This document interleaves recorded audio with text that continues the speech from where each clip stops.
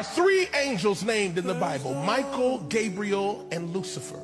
Two of them are still in place, one is not. Jesus said one of them fell like lightning.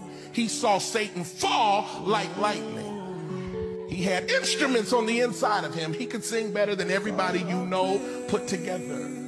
But instead of the worship coming through him, he wanted it to come to him. So God had to kick him out because nobody can handle worship but the living God. And nobody is worthy of worship but the living God. The reason why the enemy hates you so much is because you and I get to worship God out of choice. He failed once and got kicked out. We fail all the time and he still wants to hear from us.